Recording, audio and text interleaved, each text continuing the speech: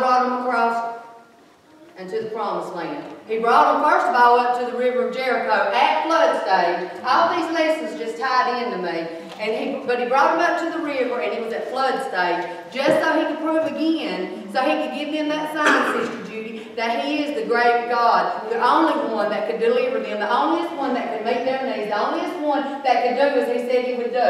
So he brings them up to the river, he tells them what to do, and there again, he parts the water, and they walk across on dry ground at flood stage. Only God can do that, Sister Barbara. That shows what a great big God we serve, Sister Kay. So he brings them over, and their next obstacle was the lesson that Brother Ronnie taught on last Sunday. It was the city of Jericho. And I thought on that, Brother Ronnie, and I thought on that, and that was a powerful lesson that you taught last Sunday. And I thought, Brother uh, Larry, how here were these walls, these giant big walls. Here was this city that was a fortress, and God had done told the children that He was going to give it to them. It was theirs for the taking. And then He told them how to do it. He gave them instructions to follow, and they had to follow these instructions to a T. And each day they would march around that city. And I looked it up, I think it was like eight miles. Does that, does that sound about right? Somewhere between six and nine acres seemed like. Acres. That, yeah, that's what it was. That's a pretty good it was a pretty good sized town. And they marched around it for six days, one time a day, not saying a word. And some of y'all know for us women, that's a hard thing to do. We can't, you know, it's hard for us to keep our mouth shut. But they were obeying God. So they marched around this city and they kept their mouth shut. And then on that seventh day, they marched around it not just one time, but seven times. And on that seventh time around, Uncle Larry, at the sound of the trumpet, and when the order was given, they was to give a shout. And God brought those walls tumbling down. He broke those walls down, and He gave them what He promised them. They didn't have to fight through that rubble, Brother Ronnie. They didn't have to scrape their way through, Sister Judy. The Bible says that it fell flat. It fell flat. That's the kind of God we serve. He don't do nothing halfway. They were able just to step over, and they took it. They took it. So then, as we're coming up to our lesson today, I, I, wanted all of this put out here so we could think about the man that our lesson's on today. Thank you, sis. Um, there they have, they walked over into Jericho. The land's theirs for the taking. And they had some instructions there also, Uncle Larry. It was all to be, to be consecrated to God. It was His. It was to be sacrificed unto God, set aside, consecrated. They, you, they were not to touch nothing because it was a curse. So they were not to touch it, Sister Loretta, and the, except for the, the gold, the brass, the iron, and the silver. It was to be set aside to go into the treasury of the Lord. Everything else was to be like a burnt sacrifice unto the Lord. Okay, so this is going to bring us up to where our lesson is today. God judges sin. They come into the city, and here we got Achan after all God's done done, and all he's done prepared them, all he's done blessed them with, and then we got poor old Achan that comes in, and, he, and the lust of the eyes takes him down. Our lesson today. Very early in the Israelites' conquest of Canaan, their next goal after Jericho was to take the city of Ai. But as it turned out, Israel's army suffered a surprising and humiliating defeat when they tried to take the Amorite city, king of Ai. When God informed Joshua that this defeat had occurred because of sin in Israel, the sinner was identified and justice was administered. This is basically what our lesson is going to cover today. What happened after Jericho? What happened after the blessings of God, after God had already done so much? Our scripture today is Joshua 7 and some parts of Joshua 8. Um, and our discussing the lesson, we're going to do this a little different today. This is different for y'all, but it's also different for me. We're going to um, take part one and two, and we're going to do them together, Brother Ronnie. Conse corporate consequences of sin and individual consequences of sin. So, Sister Lou, if you will, if you want to go ahead and read all of our scripture for us, then we're going to go into discussing all this. Yeah, all these. The whole thing. Just read it. Don't you just love them? Yes, we have to. But the children of Israel committed a trespass in the first things, for Achan, the son of Carmi, the son of Zebediah, the son of Zerah, of the tribe of Judah, took of the accursed thing, and the anger of the Lord was kindled against the children of Israel. And the men of Ahaz smote of them about thirty and six men, for they chased them from before the gate even to Shebarim, and smote them in the going down, wherefore the hearts of the people melted and became as water. And Joshua rent his clothes and fell to the earth upon the face before the ark of the Lord unto the eventide, he and the elders of Israel, and put dust into their heads. And the Lord said unto Joshua, Get thee up, wherefore lights thou dust upon thy face. Up, sanctify the people, and say, Sanctify yourself against tomorrow, for thus saith the Lord God of Israel, There is an accursed thing in the midst of thee. O Israel, thou canst not stand before thine enemies until you take away the accursed things from among you. And Joshua and all Israel with him took Achan the son of Zerah, and the silver and the garments of the wedge of gold, and his sons, and his daughters, and his oxen, and his asses, and his sheep, and his tent, and all that he had, and they brought them down into the valley of Achor. And Joshua said, Why hast thou troubled us? The Lord shall trouble thee this day. And all Israel stoned him with stones, and burned them with fire, and they had, after they had stoned them with stone. And they raised up over him a great heap of stones unto this day. So the Lord turned from the fierceness of his anger. Wherefore the name of the place was called the Valley of Achor unto this day. And the Lord said unto Joshua, Fear not, neither be thou dismayed. Take all the people of war with thee, and arise, go up to Ahai.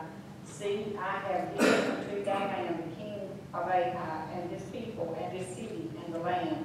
And it came to pass, when Israel had made an end of slaying all the inhabitants of Ahai, in the field and the wilderness wherein they had chased them, and when they were all fallen on the edge of the sword until they were consumed, that all the Israelites returned to Ahai and smote it with the edge of the sword. Okay, going right back in. Like I said, we're gonna combine the first two, corporate consequences of sin and individual consequences of sin. Um, first of all, what is sin? When you think on sin, what is sin? Wrongdoing. Wrongdoings. Basically, wrongdoing, and it is the breaking of God's law. If it is in this word that we are not to do it, and we do it, then we have sinned. We have committed a transgression against God, and we must therefore repent of it. Okay, if God says don't lie, and we tell a lie, guess what, Sister Loretta? We've sinned. And it's in us. We got to get it under the blood. We got to get forgiveness for it. So today's lesson is looking at the sin of one man. One man who brought down judgment on a nation. Because his consequences of what he done brought judgment against the whole nation. So therefore, it, when, when we sin, Sister Judy, it not only affects us, Brother Ronnie, but sometimes it's like a domino effect. It, there, it, it just like overlays, and it touches other people's lives. Some that we may never know, but some we do. So if you're sinning, and you think, well, who's it harming? It's just me. No, that's not right. You're harming other people as well. So we need to be very careful and never take it lightly, thinking, well, who's this hurting? If I do a little drugs, it's only affecting my body. No, it's not. It's affecting the people that love you, Sister Kay. It's affecting your wife, your husband, your children, your mama, your daddy, your aunts, your uncles, everybody that loves you. But most of all, it's affecting God because He sent His Son to die on that cross so we could have forgiveness of that, so we could be set free from that, Sister Amanda, so we wouldn't have to be under bondage to it, Sister Kay. So when we sin, it does not just affect us. It affects everybody around us. That's the reason I wanted to tie these first two together, is because not only does it, it affect an individual, but in this case, it affected a whole nation. A whole nation that God's wrath was coming against. So you see, God was with the Israelites. He gave them victory over Jericho. And like I said last week, Brother Ronnie taught a powerful lesson in Sunday school last week. It was very thought-provoking, and it really made us stop to think. I mean, here is the walls of Jericho. This is how great and big our God is. This is what He did for them. This is what He gave them. And then He gave them instructions. Everything in the city was accursed, and it was to be left in ruins except for the ones that we called out. They were to be consecrated. And this is where our lesson at today starts, with the greed of a man named Achan. Where when he, he took his eyes off of God, and he put his eyes on possessions. And when you stop and think about Achan, as some of our scripture says, he, he was probably already a pretty wealthy man, Uncle Larry. I mean, the Bible, in the, in the scripture that we read here, that Sister Lou read, it said that, um, let me find it here. It said, uh, they took Achan, The silver, the garments, the wedges of gold, his sons, his daughters, his oxen, his asses, his sheep, and his tent, and all that he had. So it wasn't like he was a poor man that had nothing. He had plenty. Sounds like he had been blessed. Exactly. He had been blessed, but in all that, he wanted more. He wanted more. First of all, he wanted something that belonged to God. That goes right back to a boastful and a prideful life. If something we're doing for the Lord, we're doing for man's glory, then we're stealing from God. Because that's God's honor and God's glory.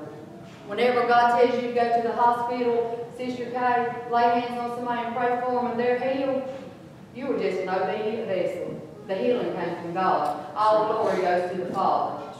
If we take it upon ourselves and we start saying, look what I did, look what I've done, then we're stealing from God. We're robbing God. We have to be very careful. We have to be very careful. We can't do nothing without God. That's right. Without the of anything we we can't make it. Amen.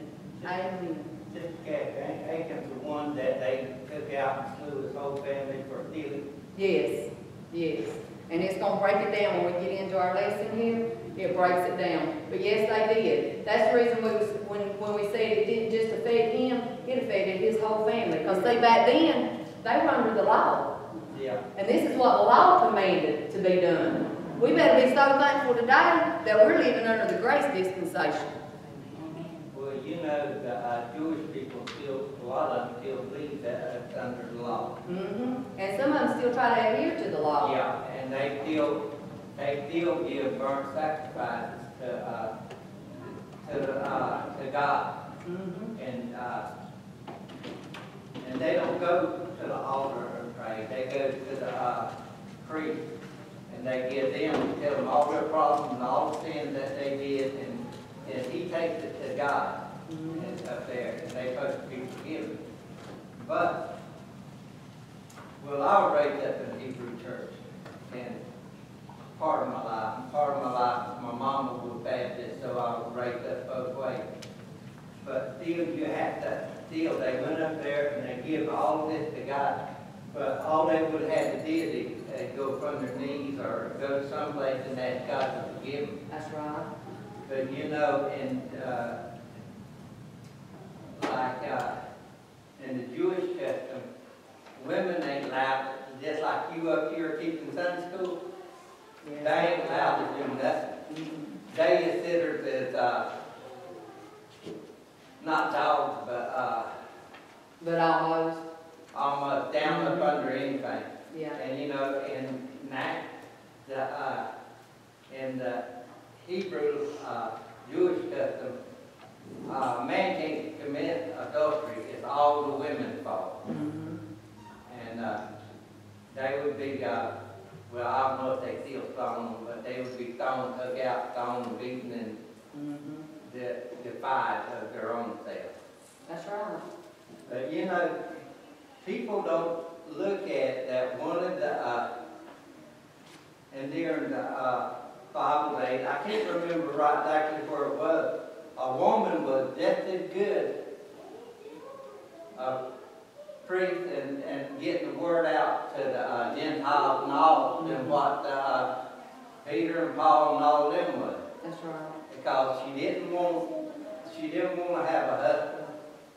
And she would, she wanted to be barren inside, and she didn't want no sin to fall upon her. Mhm. So you have to say the women has got just as much right to get up there and preach it as we do. Amen. I'm sorry for No, no, no, that's fine. That's what Sunday school's all about. I mean, that's what we come in here for, to study it together and to learn it together. And, uh, so we're gonna go in, I'm gonna have Brother Ronnie read our first section. Oh, wait a minute. Brother Kirkland, you got something? I'd like to bring this uh, response to the word on page eighteen. Mm-hmm. Two of right, right, right side to side, one another. So I don't think that we should allow hidden sins to accomplish in our lives. The one thing they're called is persecution. That's right. He that lives right, they'll persecute you even though for that. The thing for us to do is to pay for That's right. pay for it. and study to show ourselves approved of the God of workers that needed not be ashamed, rightly dividing the word of truth. That's in Second Timothy two fifteen. Amen. I love that verse. That's your favorite, isn't it, Brother Kirk? Study to show thyself approved. That's And the best way we can get all this straightened out is let him back on the gate. Spending time. Brother Ronnie, go ahead and read our first speech. Says, when God enabled Israel to capture Jericho, the whole city was devoted to the Lord as a burnt offering. Because Jericho was devoted to the Lord, no person was to profit from the spoils of the city. But one man, Achan, overcame by his greed, violated the ban on the city of Jericho. The unexpected defeat of Israel's army at Ai alerted Joshua and the tribal leaders of Israel that something was wrong in the nation's relationship with the Lord. This drove them to earnest prayer. Then God revealed that the defeat of Israel was due unforgiven sin in their midst. Notice that God did not at first reveal that Achan, one individual, had sinned. Instead, God's word to Joshua was Israel has sinned. They have taken of the accursed thing. God held all Israel accountable for the sin of Achan, so the whole nation would accept the responsibility to remove this sin from their midst. All right, I want to cover this just briefly, and then we're going to go into the second one, and then come back and cover the whole thing. What this is talking about here is, God had already given them Jericho, and now they were to go up and take the, the- take.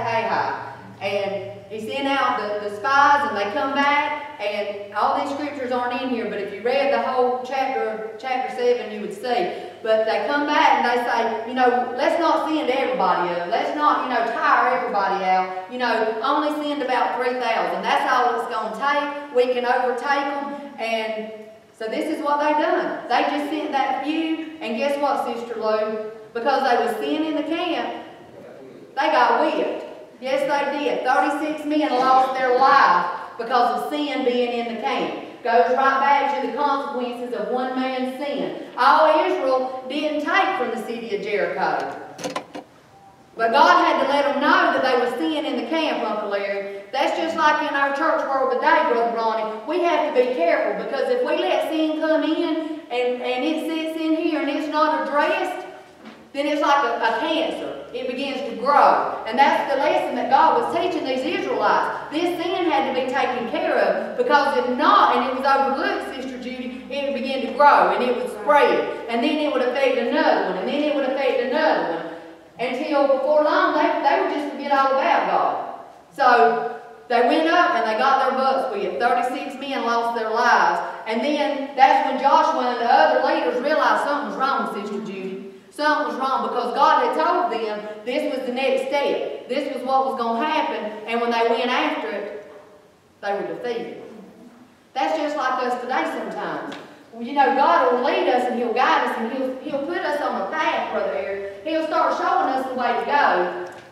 But then all of a sudden, maybe there's something that comes in and we don't get it covered under the blood, and then things don't go just the way they were supposed to go, Sister Linda. And then that, that's like a checkpoint to us. Wait a minute. Maybe I need to back up and see if there's something in the camp, Sister Sabrina. See if there's something that's come into my life that's not pleasing to God, and I need to get it taken care of. Unconfessed sin will not make it in, no matter what it is. And when we fall off that pathway that God set for us, because He does lead, guide, and direct us, Sister Kay. And if something bumps us off that path, we better stop and say no. We better say no. Because we can continue on that path that we've been knocked off on, and that path just gets a whole lot worse, Brother Ronnie. It don't get easier, it gets harder. And until we get things back right with God, it's not going to line up right. Just like with these Israelites. This had to be dealt with. The sin had to be addressed. So what did Joshua and the leaders do? They fell down on their face before God and they started seeking God. What's wrong? What's happened? And God let them know sin was in the camp. It's time to deal with it. Sin was in the camp. Um, the fact is, sin always has consequences for the sinner, and these consequences can spill over and adversely affect other people. Sins we commit as individuals always hurt someone else and have a morally degrading effect on family, community, and society. This is the corporate nature of the consequences of sin. This is what happens when it affects a whole body of people. You know, Sister Kathy, when one person in a church is out there and people sees them doing wrong, Come on, Uncle Larry. they think that, uh, the, the person that's doing it thinks it ain't hurt nobody but itself. But then people that sees them are doing wrong, say, I want you to look what that church puts up with. Exactly. Boys, I don't wanna go to that church because they'll just put up with anything. That's right. And see, that, that hurts the whole bunch. Yes, it does. It Brings a reproach on the whole church. That's right. Even though everybody else in the church ain't doing it. It It's that brings individual on out there. It brings that reproach. We have to be careful. When we take on that and we're out there, like Uncle Larry said, and we're sharing, we're telling people we're part of Anchor Fellowship Church. And you don't never know who's watching. That's right. That's right. And you never know where you're gonna meet up with somebody at. And then they're gonna say, well, wait a minute, didn't you tell me you went to that church? Or so-and-so told me you attended that church. What are you doing here doing this? I mean, Can I say a big thing, and then I let you. you're. I know Anchor Fellowship Church is, is a good church. Because it takes everything to make it grow. And you take somebody that's out there attending and, and different things, and they allow different certain things to go in there, and the church, it grows, it prospers. But if you take a church that tries to live right, got a good pastor, and try, I love my pastor and, uh, and different things, and, and people talks about it. I know God's gonna bless that church some way or another, cause, uh, the devil trying to knock it down every way he can. And, uh, remember to, eh, okay, I tell you what you do. You sit there and don't say a word, and you go off and let, and just back off and let people talk. And Mama always called it a doodle whopper. Uh, Just listen to them, because, and somebody said say one thing. And when it gets back around to different things, they forty lies be told about it. That's true.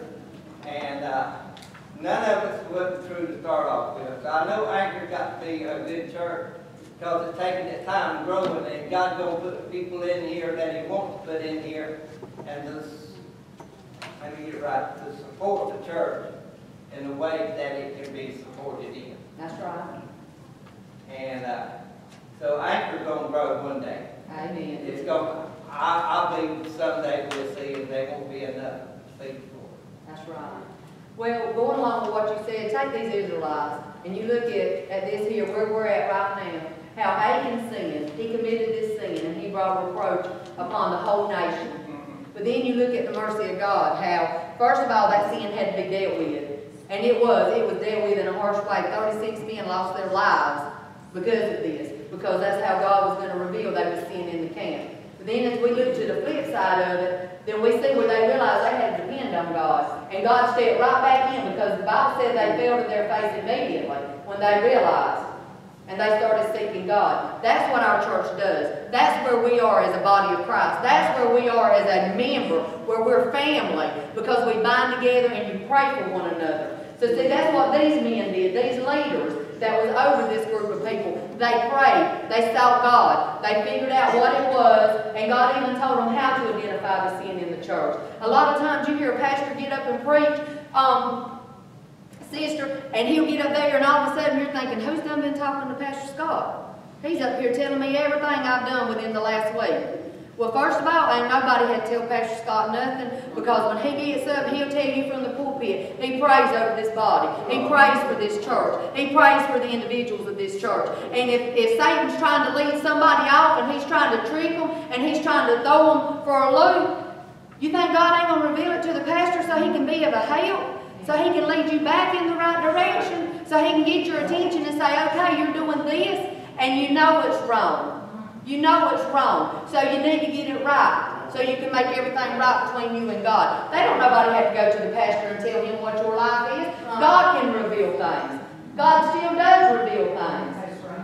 He works in a mighty way. And if, it, if it's for yours and my benefit, we better thank God we've got a pastor that'll stand behind the pulpit and will tell it like it is.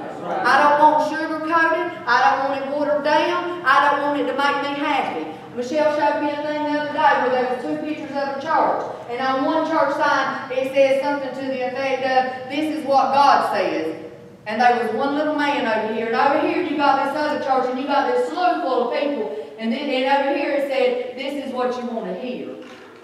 That's the way it is nowadays. People will run and they'll flock to what they want to hear, what makes them feel good, what lifts them up, what makes them look good. They don't want to hear what thus says the Word of God. Well, people, we better get back on track. We better realize if it ain't thus says the Word of God, we better quit following it. We better quit following man-made traditions and get back to following God-spoken laws, rules, guidelines, because it's for our benefit.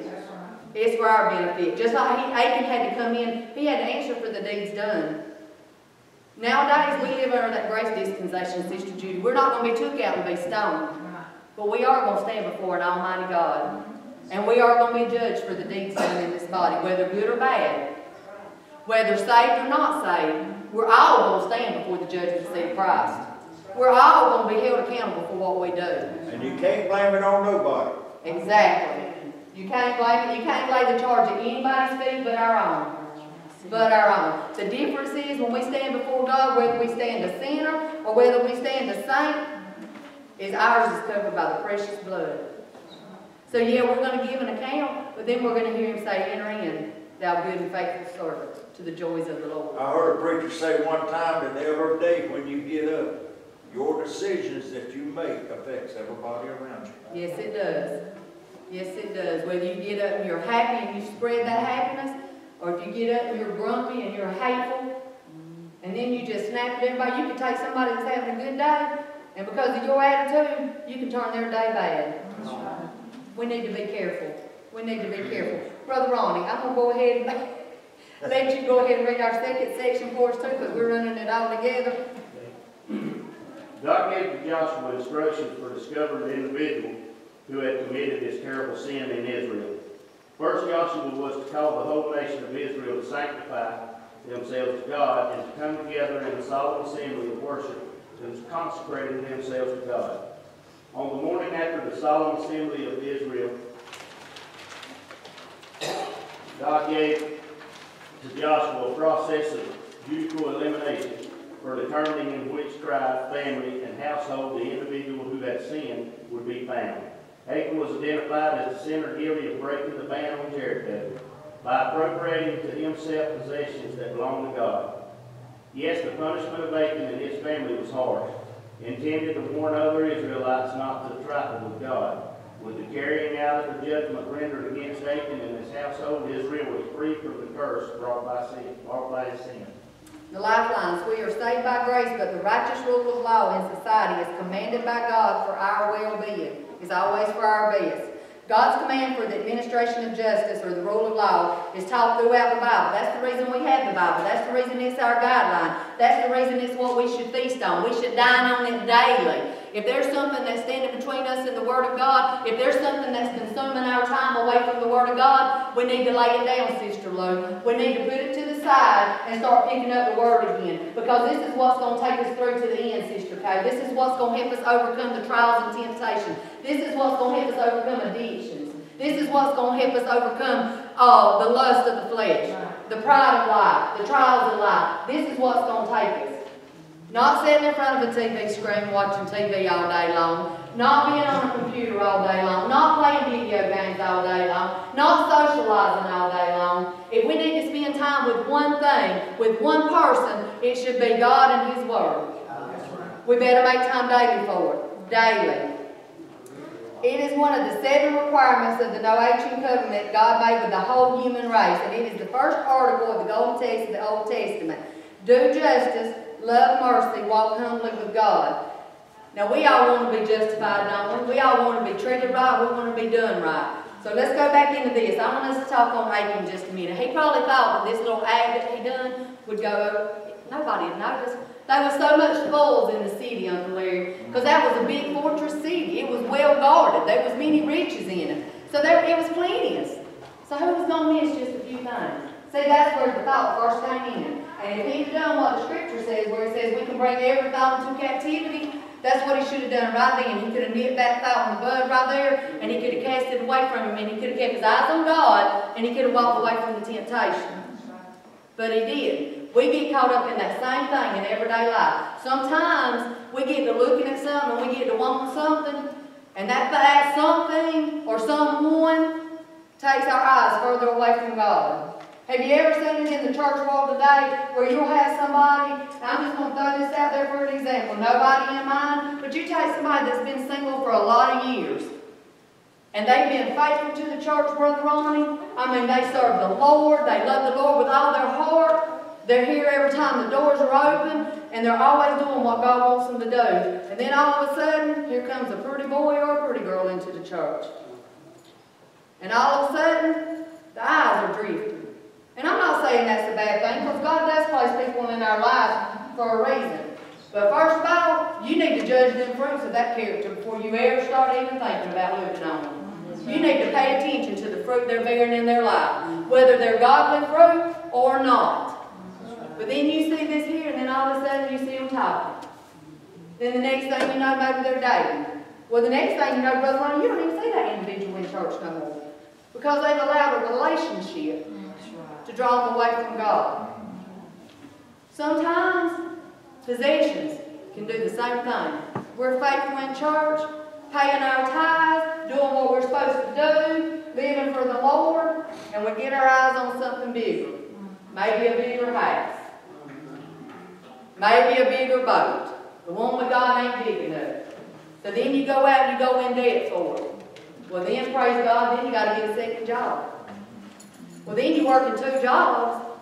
Well, you got to have time to sleep. It's the small that's full of the vine.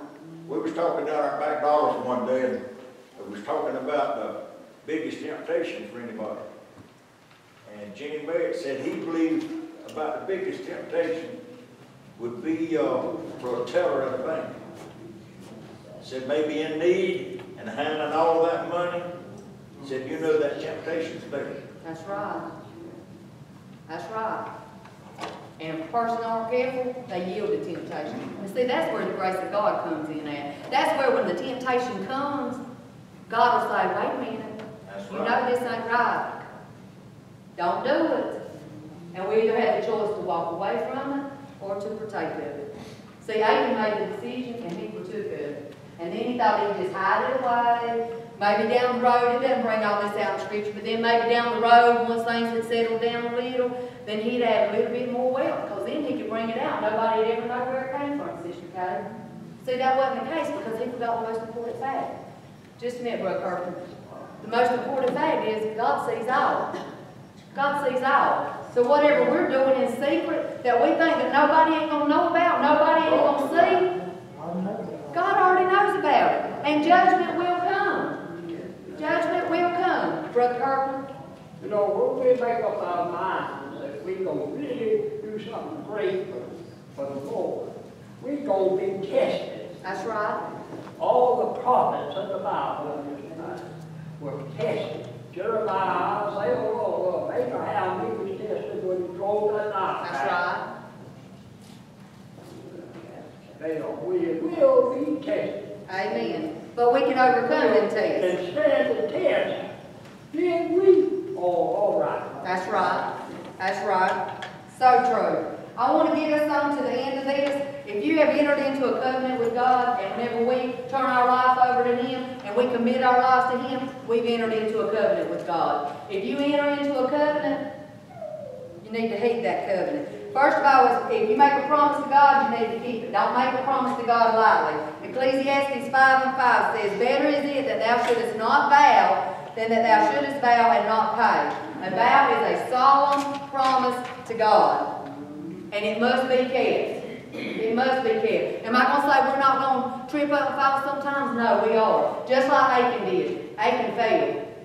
He failed, but he was living under the law. The thing about it is, is whenever it came up, he admitted to Joshua, I did this thing. He even told him where the ark was buried under his tent, in his tent under the ground. He even told him where they were, Sister Barbara. So he admitted. But under the law, this is what the law required had to be done. Like I said earlier, we better be glad we're living under grace. Because if we was living under the law, there'd be a lot of us done be dead and gone. But thank God that the blood was shed for the remission of our sins. So, first of all, Achan transgressed, his whole family paid the price. And then we know by the, the rest of the scriptures that they went on later on and they took Ahab. And God fulfilled what he had told him he would do. And um, I want, um, I want to go into this last section here. And I know we ain't got but a few minutes, and we're not even gonna, but the benefits of removing sin. There's benefits to getting rid of the sin in our life. I'm gonna ask Alan to come up just a minute. I'm gonna use him as an example. Um, maybe he'll be a good one. But we were talking earlier about looking looking the part, playing the part. You know, it's easy nowadays. You look at Alan, he comes to church, most of the time he's well dressed. There's a reason why he's dressed the way he is right now. But you come to church, you play the part, you put a smile on your face, you shake hands with the deacons, you know, you sit back there, as you run the sound booth, you're doing your part. And everybody thinks, well, Brother Alan's okay. He's a good man of God. But listen, remember, God sees all. God sees all. He sees what we can't see, Uncle Larry. So see, sometimes underneath what's out there, like I was talking about a while ago, whenever a certain someone comes into church, and then you're looking at this outward appearance, and this outward appearance is looking so hot, and I mean, just, you know, ooh, he is just a catch, you know, and you get your eyes on the fleshly part of it. But see, God's seeing the other part of it. So we're going to ask him to take this little shirt off, and we're going to see what's underneath, see if it's all as pretty as what the outward part did look like. Uh-huh. See, sometimes underneath all that prettiness, Yeah. there's a lot of sin covered up. Uh-huh. A lot of sin. It's dirty. It's filthy. And if we'll stop and think, this is the way we was whenever we came to God. We was as filthy rags. Filthy in the eyes of God. Some of us have been guilty of some of this stuff. Greed like Achan was. Sometimes we get so hungry for money. We want more of it, and more of it, and more of it. That it consumes our whole being, Sister Kay. and takes us away from God. Sometimes gossip tears down our testimony for the Lord. It tears it down. Having to turn around. Some of these right here. Unconfessed, covered up sin. This is what Achan did. He sinned and then he tried to cover it up so nobody would know about it. And what did we say a while ago? He forgot, Uncle Larry. God sees it all. God sees it all. Even though men may not see it, Sister Brenda, God's seen it. God's seen it. Stealing, cheating, murder, profanity. How can we come here and say we love the Lord? And then like Uncle Larry said oh, earlier, we're in here, we're confessing one thing, but then we get out there, and then people hear us taking the Lord's name in vain. Or they hear us spouting ugly words. That goes back to the scripture that and bitter water don't flow forth from the same fountain. It cannot happen that way. So what do we do? What do we do when all this is in our life? And a lot of this, let me tell you, a lot of this was a lot of us before we came to the Lord. We might not have it all listed on there, Sister Kay, but a lot of this was in our life. Pride. Pride goeth before destruction. Isn't that what the scripture says, Brother Ronnie? Pride. Sometimes we can get so built up that it can cause us to fall. Adultery. Anything put before us in God. If you ever break one of God's commandments, and you don't get it under the blood, you'll break another. That's right. It's like that domino effect. That's like when you tell that first little white lie just to get by. I won't have to tell another one. But then you got to tell another one to cover the white lie you've already told. Before long, you told so many that you don't remember the first one you told, and then you done caught yourself in the trap. Remember, whatsoever is done in darkness will be brought to light. And the most important thing from this I want you to take is it don't matter who in here knows any of this stuff. God knows. God knows. So what do we do to get rid of it? How do we remove it from our life? We simply go to the Father and confess. And what does He do? He takes red blood and He covers it out. And He casts it as far as the east is. from the. Amen. Never be remembered no more. He takes it all away. It don't matter how bad it is. Lies, he'll cover it up. What does it say? Go and sin no more. Isn't that what he told the lady caught in adultery? Isn't there adultery in here somewhere? Uh, Sexual sin. He told her, go and sin no more. There's nothing that the red blood won't cover. There's no, no place that you have been, nothing that you have done, no matter how bad it was, that God will cover with his blood. Amen. The repentant heart. So what is the benefits of removing sin?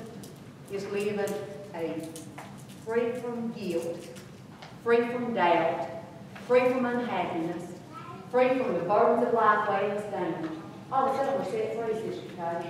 All of a sudden, we can breathe more freely. There's joy that comes into our life. There's hope. We're used to there was boom and doom. There's hope. There's hope because there is life eternal, Sister Linda. If we only had hope in this life, we'd be of all men most miserable. But there's hope because there's life after this life. If all we had was this life here, I wouldn't like it, Sister Judy. What would be the purpose of it? But I have a mansion waiting. Right. I have a mansion. It don't matter what I live in down here. I got a mansion waiting for me up there. Amen. As long as it's all covered under the blood. There's so many benefits to removing sin from our life. The pleasures of sin is only for a season. One day we stand in judgment, just like Achan did. Achan had to stand in judgment, and he had to answer for the deeds he had done. And not only did it affect him, it affected his whole family, it affected the whole nation of Israel. What are we doing? What are we putting out there? How are we affecting our loved ones? Are we bringing them closer in, or are we pushing them further away? Y'all, this was a powerful lesson to me. But the most important part that God brought out was, there's nothing He will not forgive if you come to an altar of repentance. And when I say altar of repentance, yeah, we have an altar in here, and it's open anytime we're in here, the altars are open. But we can make an altar anywhere we are. Anywhere we are. We can cry out to the Lord, and He hears and answers our prayer. So it does. So it does. We can stay guilty, and we can enjoy the pleasures of sin here, and we can pay for it throughout eternity.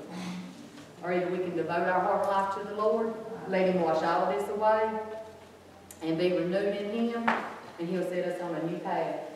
And one day heaven will be ours. It'll be ours. Thank y'all for listening. I've What enjoyed this example are we lesson. Amen. Life right and learn. On the back, gonna read that. Many live by the false assumption that God is too good and too loving to judge and punish anyone for sinning. However, this assumption calls for the answer to a crucial question. What would our world be like if in fact God did not judge and punish evildoers? The answer is obvious. Evil people would carry out their destructive plans with impurity, and we would have no hope that justice would ever prevail or that good would overcome evil.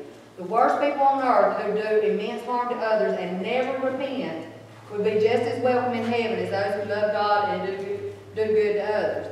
As every wise parent knows, if you love your children and, and want to do the best for them, it will be necessary for you to correct them with instruction and discipline when they do wrong, which is exactly what the Father does for us. To fail to do this certainly would not be love or goodness, but evil. Likewise with God, because He is loving and good, judges and punishes sinners to correct and stop their evil doing.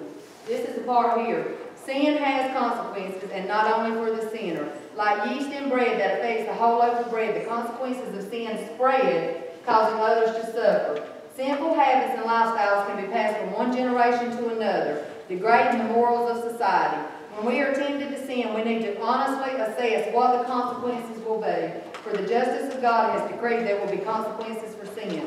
Sin can be to our spiritual and moral well-being like what a few cancer cells can be to the human body.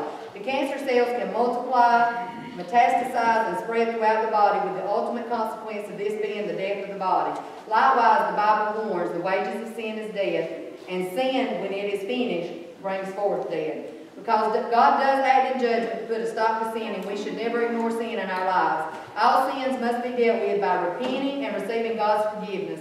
Only by living with a penitent attitude toward God regarding our need of His cleansing us from all sin are we made able to live in sanctification and true holiness. That summed it up wonderfully, sister. Yes, it sure did. Anybody else got anything they want to say? Sister Kathy.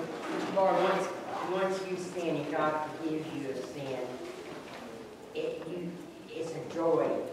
He makes it to where it's, saying. Anyhow, it, if, when we sin, we get sin out of our lives, God forgives us, then we can serve Him so much stronger and so much better. That's right. That's right. Because we realize where the forgiveness has come from. Amen. He's cleansed our heart, and it's just a joy then to serve God. That's right. And when you sin, I mean, you keep burning down, and eventually it's going to get where you can't overcome it. That's right. You got to turn it over. When we've been forgiven us so much and that freedom comes, and like you said, there's happiness, there's joy, there's love in it. And how much more then can we give it to somebody else? You know, we've been forgiven, so then it makes it easier for us to forgive somebody when they're walking that path, whenever they do something wrong, because we know how much God's forgiven us for. Right. It's a domino effect. It's a domino. Anybody else got anything they wanna say? You know, sis, I think the number one thing that keeps us getting what we need from God is pride. That's right. We don't wanna, we don't wanna admit that, you know, we're wrong. Mm-hmm. You know, we think things and, but that pride gets in the way. We get pride out of the way and unbar our hearts, God can really move in your life. Yes, he can. Because I know that's where I was. I had a problem with my pride. But once I got that under subjection, God was able to move, work in my life. And I think that's a lot of people's problem. That's right. Amen. And you, you reckon what, what would it be like today? One member in the family sin, they, they killed a whole bunch. Would we stay on top of our brothers and sisters? you To make sure they're doing right. Yeah, because there's, you know, look at Haman, you know, destroyed his whole family, you know. That's right. I- You know, you would stay on top of yours. That's right. I mean, because, you know, one sin, the whole, the whole family is, is gone. That's right. Amen. It's something to think about, Sister My Lola. dad-in-law used to say that there'll be a lot of people that'll go to hell because they wanted his dead. They're wrong. That's right. Goes right back to that pride. That's right. Right back to pride. Anybody else? I know we've run over, but I, this is a good lesson to me. It's thought provoking, very thought provoking. Um, we can overcome anything through Christ, through Christ. Through Christ, by the blood of the Lamb. We're covered, covered by the blood. Uh, Brother Ronnie, you want to dismiss this? Dear Heavenly Father, Lord, we just thank you once again for a wonderful Sunday school lesson, Lord, and keep the word of God on our heart, Lord. We thank you for the person brought it, Lord, for the person you took and chose, Lord, to bring us this message. God, we ask you just continue to bless the Lord, her family. God bless this whole church, Lord, we thank you for being able to be here this morning, in Jesus' name. Amen. Amen.